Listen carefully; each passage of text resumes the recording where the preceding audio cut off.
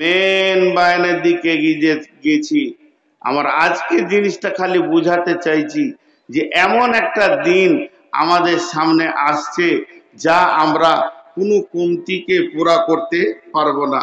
জি, কোনো যদি কমতি হয়ে যায়, সেই কমতিটাকে পুরা করার ক্ষমতা পৃথিবীর কারণ নাই কারণ নাই।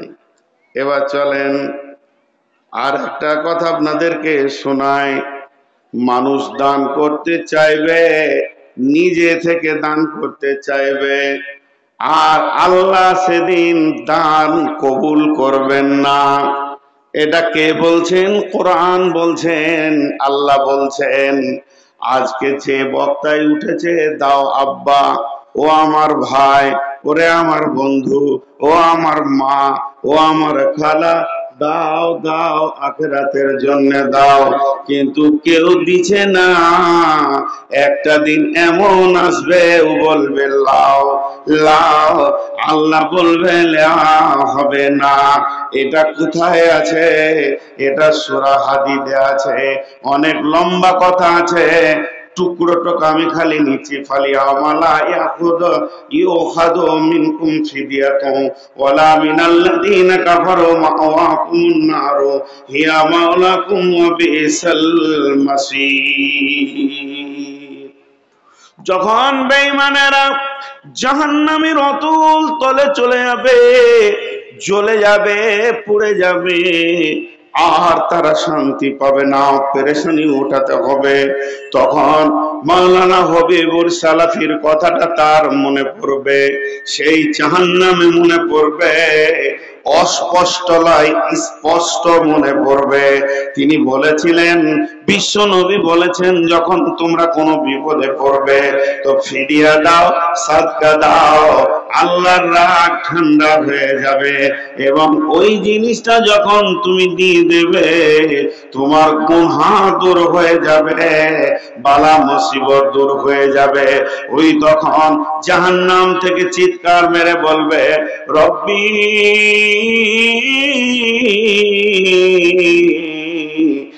আমার যেদিন তুমি আমাকে আজরাইলকে পাঠিয়ে নিয়ে নিয়ে এসেছ, সেদিন আমি পৃথিবী থেকে কিছু আনিনি। আমার বিবি, আমার সন্তান, আমার ছেলে মেয়ে নাতি পোতা শুধু তাই নয় আমার জমি, জায়গা, টাকা, পয়সা, ব্যবসা, বাণিজ্য, ইট, ভাটা, পেট্রোল পাম্প, আমার গাড়ি, বাড়ি, যত কোটি টাকা সঞ্চয় করেছিলাম, সব তো ফেলে দিয়ে চলে এসেছি। এগুলো কোথা আছে? কি অবস্থায় আছে? কেমন আছে? পৃথিবীর কেউ না জানলে আল্লাহ তুমি তো জানছো। অতএব তুমি জানো কোন জায়গায় রয়েছে। আমার ছেলে মেয়ে বউ বেটি থেকে নিয়ে সম্পদ আল্লাহ তোমাকে ফিদিয়া করে দিলাম, হাদিয়া দিয়ে দিলাম, সাদকা করে দিলাম। এক তিল পরিমাণ আমার কাছে আমি রাখতে চাইছি না, মাবুদ, জাহান্নাম থেকে তুমি বের করে দাও। আমার আল্লাহ বলছেন, ফালিয়াও মালায় ওখাদু মিনকুম ফিদিয়াতু ওয়ালা মিনাল্লাযীনা কাফারু। হে বেঈমানের দল, সেদিন মাথা ঝুঁকে মরে গেলেও আমি একটাও এক তিল কবুল করব না। আমার প্রয়োজন নাই। হম হুয়া মাওলা মাওলা কুমুন নারু। আর তোর ঠিকানা হবে জাহান্নামের ভিতরে। অতএব এখন তুমি হাজার দান করতে চাইলেও আমি আর কবুল করব না। এর জন্য আল্লাহ বারবার সাবধানতা দিয়েছেন কি বলে? যে হে আমার নবী, তুমি বলে দাও ইন্নামাল العلم عند الله نذير এই দিনের কথাটা, ওই দিনের সময়টা, ওই দিনের ডেটটা আল্লাহর কাছে জমা রয়েছে। আর আমি তোমাদেরকে শুধুমাত্র ভয় দেখানেওয়ালা, এর থেকে আমি আর কিছু করতে পারব না। সেই কিয়ামতের দিনে নবী মোহাম্মদ সাল্লাহ সাল্লাম পর্যন্ত কোনো মালিকানা পাবে না।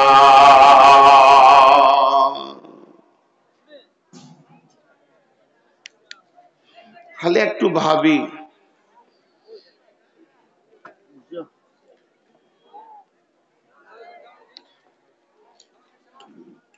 ওরা দুজনে যদি আসে, তো চেয়ারটা আমি দিব বসতে দিব মানুষ না বলে ছাগল, আল্লাহ জানে।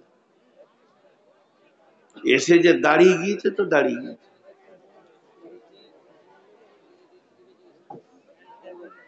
চোখের সামনে এতগুলো ডিম থাকলে বায়ান হয়। সালা নজর খেলে ওইদিকে কোন ধরনের আদত খারাপ আপনাদের। জি। আপনারা খুব মনোযোগ দেন। এরপরে রসুলের হাদিসটার দিকে যাব। তো ওই একটা দিন আসছে। খালি ছোট্ট করে একটা স্বীকারোক্তি লিব আপনাদের কাছে। ছোট্ট করে, বেশি লম্বা করে নয়। কেয়ামত কেয়ামত মেহসার সেই প্রলয়ের দিন, বিচারের দিন। এ ব্যাপারে কারও সন্দেহ আছে? আমার ভাষারা বুঝতে পারিনি ওই জন্য উত্তর দিলেন। হাত লড়াচ্ছে কিন্তু জীব নড়াচ্ছে না। কি আজীব জায়গায়। একবার সকলের কাছে আমি একটু আওয়াজ নিতে চাই, হালকা, একদম পেছন থেকে, মহিলারা বাদ। কেয়ামতের ব্যাপারে কোনো সন্দেহ আছে? সন্দেহ আছে? আচ্ছা আপনি, আমি একই।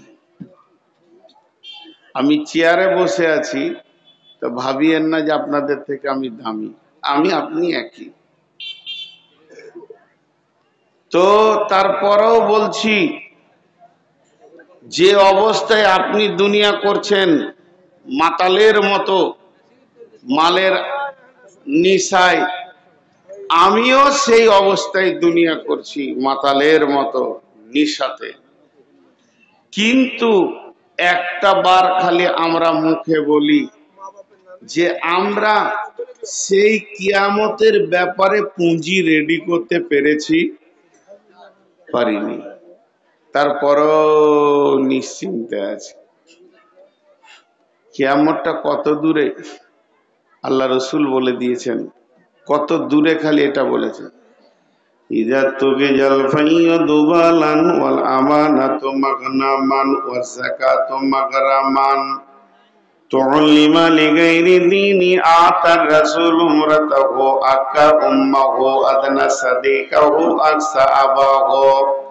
জাহারাতিল আসওয়াতু ফিল মাসাজিদি সাদাল কাবিলা তাফাসিকুহুম জাহিমুল কওমি আরজুলুহুম ওয়া উকরিমার রাজুলু মাখাফাতাস সাররিহি ওয়া জাহারাতিল কাইনাতু ওয়াল মা'জিফু সুরিবাতিল খুমুরু লিবাসুল হারিরি লা নাহাদিহিল আউমাতু আউওয়ালুহা জি আমি গাড়িটা নিয়ে বের হলাম। আমি গাড়িটা নিয়ে বের হলাম আর আপনাকে জিজ্ঞেস করছি, মালদা কত দূর? আপনি বলে দিলেন টাকান রাস্তায়। একটা পোলে লেখা আছে, মালদা হলো চল্লিশ কিলোমিটার। উল্টা দিকে কাটতে শুরু হলো। চল্লিশটা উনচল্লিশ হলো, আটত্রিশ হলো সাঁত্রিশ ছত্রিশ, পঁয়ত্রিশ হলো, চৌত্রিশ, তেত্রিশ, বত্রিশ, একত্রিশ, তিরিশ। এরপরে তিরিশ আসার পরে সেটা বিশ হলো, বিশটা দশ হলো। যখন দশটা কাটতে কাটতে একে এসে দাঁড়িয়ে গেল, দশ, নয়, আট, সাত, ছয়, পাঁচ, চার, তিন, দুই, এক। আর একে আসার পর ওটা জিরো হয়ে গেল মানে এটা মালদা। আল্লাহর নবী বলছেন, উম্মত রে তোমাকে দুটি চোখ দেওয়া হয়ে গেছে। এই চোখে যখন তুমি পৃথিবীর মাটিতে পনেরোটা জিনিস আমার উম্মতের ভিতরে দেখবে হামসা খাসলাতান মিন উম্মতি মিন উম্মতি মিন উম্মতি আমার ভিতরে দেখবে। তার মানে নন মুসলিমকে দেখতে বলা হয়নি তাদের কাছে দলিল নাই, তাদের কাছে সত্য নাই, তাদের কাছে কোরআন নাই, তাদের কাছে রসুলের হাদিস নাই, তাদের কাছে সাহাবিদের জিন্দেগি নাই, তাদের কাছে খলিফার জিন্দেগি নাই, তাদের কাছে বড় বড় আলেমদের দলিল নাই। তাহলে নন মুসলিমরা দামি দামি নিয়ামত থেকে বঞ্চিত হয়ে আছে। কে মা কে বোন কে বিবি, এ ব্যাপারে তাদের কোনো দলিল জানা নাই। কার সঙ্গে সফর করা যাবে? একটা মেয়ে কার সঙ্গে সফর করতে পারবে না। এ ব্যাপারে তাদের কোনো দলিল নাই। তারা যেটা চেনা মেনা তেনা চলবে আর আছে। কিন্তু যার কাছে সলিড কোরআন পৌঁছিয়ে দেওয়া হয়েছে, আমার উম্মতের কাছে বোখারি, মুসলিম, আবু দাউদ, নাসাই, ত্রিমিজি, ইবনে মাজা পৌঁছে দেওয়া হয়েছে। আমার উম্মতের কাছে আমার সমস্ত কথাগুলি লিপিবদ্ধ কাছে যাদেরকে পৌঁছে দেওয়া হয়েছে, এই মুসলমানদেরকে এরা বড় নিয়ামত পেয়েছে, এদের ব্রেনে লোড হয়ে আছে।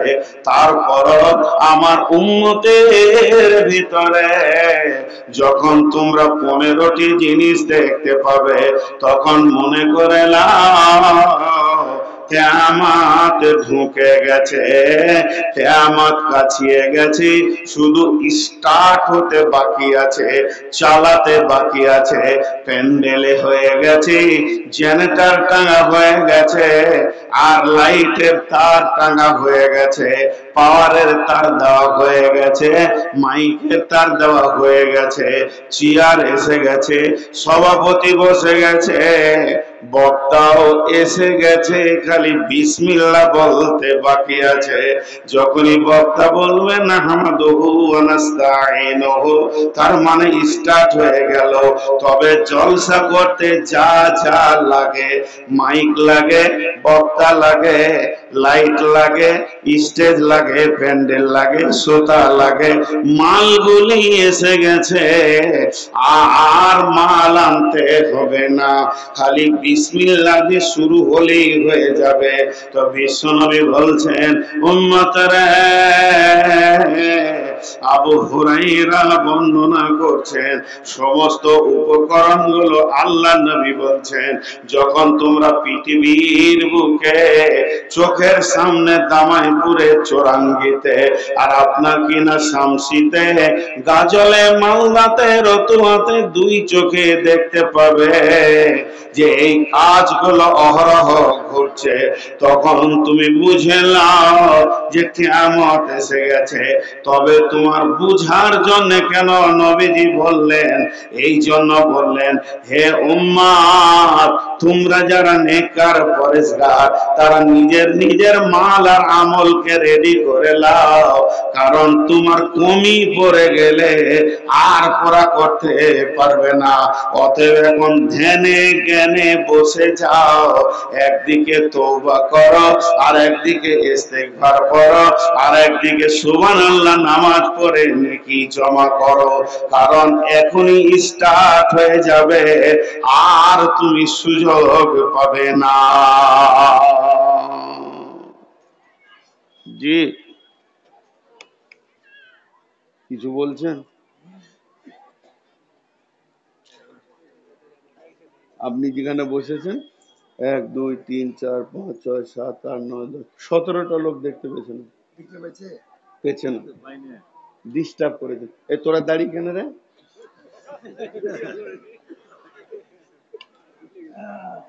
ওই তিনটাকে মাথায় মারেন তো। আহা জ্বলিয়ে লিলি বা। আমাকে শেষ করে দিলি জি ভাই। মাথা ওদের শট নাই, আমারই আছে। জি। আজকে ক তারিখ? এটা জুলুম কি জুলুম লয়? আজকে আমার জালসা আছে হেমতাবাদ। খুব কষ্ট হচ্ছে। বক্তাদের জীবনটা আল্লাহ তাবারাকবা তালা যত সুখী করেছে, অতটাই দুঃখী করেছে। এক মাস বাড়ি থেকে বের হয়েছে। বাড়ি ঘর নাই। হাজার পায়ে ধরে রিকোয়েস্ট করছি, চারশো অষ্টআশি সুগার পানি মুখে দিচ্ছি, তবেই কথা বলতে পারছি। আগের মতো আর চাঙ্গা ক্ষমতাটা নাই। কথাতেই তো বুঝতে পারছেন। তারপরেও মাপ নাই, বারোটার পরেই নিতে হবে। তবা করতে হবে এগুলো আমাকে। সেই পনেরোটি কি? নাম্বার এক, ইজা তোকে জাল ফাইও দোবালান জনসাধারণের মাল নেতারা লুটে খাবে।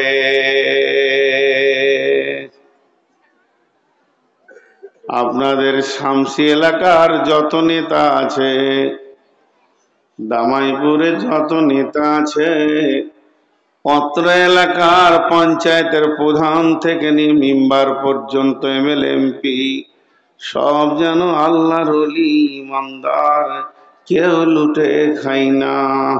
আল্লাহর নবী বলেছেন, আমার উন্মতের ভিতরে যারা নেতা হবে, আগেই বলেছি বিধর্মীদেরকে মাথা থেকে বের করে দেন। ইজা তুখি দুবালান, এরা লুটে লুটে খাবে। জি? যেখানেই উঠি একটা কথা আমার মুখ থেকে বের হয়ে যায় কোন দিন মার খাব লাগছে? এই সিভিক পুলিশগুলো। এরা যেভাবে ঘোষ লিচে মনে হচ্ছে এসপি দাঁড়িয়ে আছে। হুম? আর গাড়ির একটা কাগজ দিলে দু লাইন পড়তে পারবে না। জি। আচ্ছা ভাগ্য জানে ওকে আল্লাহ পুলিশ করে নেই পুলিশ করলে আরও ঘোষ খেত। আরও খেত। ওদের চরিত্র এত নোংরা। আল্লাহর নবী বলেছেন, জনসাধারণের মাল নেতৃত্ব স্থানের লোকেরা লুটে খাবে। ওমর তিনিও একজন বিশ্ব নেতা ছিলেন, আঠারো লক্ষ বর্গ মাইলকে একটা আঙুলে শাসন করেছেন, তিনার শাসন ক্ষমতা কত ছিল? একজন বেইমানি বেইমান করেছে বেঁচে যেতে পারেনি। একই জায়গায় বসে সাইমম ঝরে পড়েছে কুটির, তুমি তো পরনি নয়। খেজুর পাতার প্রাসাদ তোমার বারে বারে গিয়েছে খয়ে আজকের পার্লামেন্ট কয়েক কোটি টাকা খরচ, কয়েকশো বিলিয়ন ডলার দিয়ে পার্লামেন্ট বানানো হয়েছে, সংসদ বানানো হয়েছে, রাইটার্স বানানো হয়েছে। কিন্তু হজরত উমার যে জায়গায় বসে আঠারো লক্ষ বাই বর্গ কিলোমিটারকে শাসন করেছেন। ওটা কোন পার্লামেন্ট নয়, মসজিদে নবভী যার ছাদটা ছিল খেজুর পাতার। কবি নজরুল বললেন সাইমুম ঝরে পড়েছে কুটির, তুমি তো পরনি নুয়ে। খেজুর পাতার প্রাসাদ তোমার বারে বারে গিয়েছে খয়ে। হে ওমার তোমার প্রেসারটা ক্ষয় হয়েছে রোদে তেপে তেপে তেপে তেপে পাতাগুলো ঝুরঝুর করে পড়ে গেছে। তারপরও সেই ঝুরঝুরে পাতার ভিতরে তোমার শাসনের চাবুকটা এত মজবুত ছিল যে কোন জায়গায় বেইমানেরা বেইমানি করতে পারেনি। আর আল্লাহর নবী আগে নেতাদেরকে ধরলেন কেন? নেতাদেরকে প্রথমেই ধরার কারণটা হচ্ছে, নেতা যদি নরবরে হয়, তাহলে এলাকার বেইমানদের উত্তেজনা বেড়ে যাবে। তার কারণ হচ্ছে, যে খুঁটাতে আমি গরুকে বাঁধব যে খুঁটাতে আমি ভুঁসকে বাঁধব যে খুঁটাতে আমি ভেড়াকে বাঁধব যে খুঁটাতে আমি বকরিকে, খাসিকে বাঁধব লোকের জমির অনিষ্ট থেকে খোঁটাটাই যদি নড়বড়ে হয়, তাহলে একজনও আমার পশু থেকে নিরাপত্তা পাবে না। কারও নষ্ট হবে টমেটোর বেগুন, ধান, গম, যা মাঠে আছে নষ্ট হতে থাকবে, সমাজ যেন কষ্ট পাবে। আর খুঁটাটা যদি মজবুত হয়, তাহলে ওই পশুগুলো আর কিছু করবে না। এই মানুষের ভিতরে মানুষ রূপে কিছু পশু আছে, অত্যাচার করে, সমাজকে নষ্ট করে। এদের বাড়াবাড়ি তখনই কমে যাবে যখন নেতা মজবুত হয়ে যাবে এলাকার, কিন্তু আমাদের নেতা মজবুত না থাকার কারণে গোটা এলাকা অনিষ্টতা চলছে। আল্লাহর নবী বলেছেন ইজা তুখিদাল খাইয়ত বালান নেতারাই চোর হবে, তাহলে চোরের বিচার কে করবি?